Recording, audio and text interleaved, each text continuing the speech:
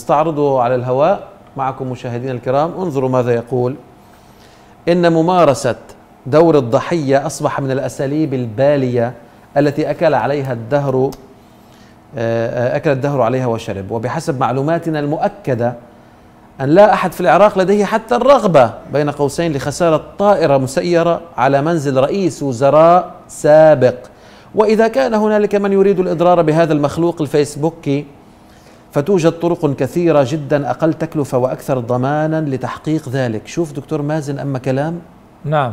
هو وما يثير السخرية نكملها بس. استخفاف استخفاف إيه. هو به بالكاظمي. يقول لك وما يثير السخرية واقعا أنه يدعو إلى ضبط النفس والتهدئة فمن يا ترى عليه أن يقلق؟ ومن فقد السيطرة على نفسه؟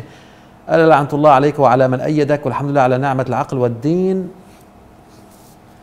اي هو استخفاف بالكاظمي طبعا والكاظمي يستحق أن أنه يستخففون به لأن هو اللي وصل نفسه إلى هالمستوى. هو ضعيف هزيل لولا وجود أمريكا لما استمر طبعا هذا سنة كاملة ما ما كان يستمر.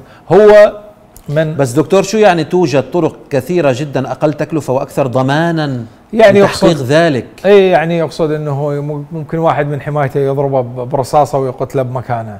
ما تكلف أكثر. ولكن هذا كلام هذا بس هذا العسكري مش تهديد؟ طبعا تهديد تهديد واضح صريح مو تهديد مبطن تهديد واضح وصريح.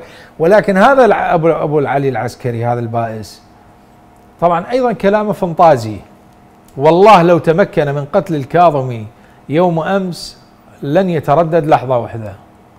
يعني فجر اليوم لن يتردد اطلاقا اطلاقا لأنه الكاظمي آه قلت لك أصبح لهم شوكة في الزردوم وقريبا كما قلنا في بس دكتور واقعيا. عندهم إمكانيات الجماعة عسكرية ولوجستية واستخباراتية. عدهم لكن هو الآن محمي قلت لك من من قبل السفارة الأمريكية. يعني السفارة الأمريكية ما تبعد 2000 متر عن بيته.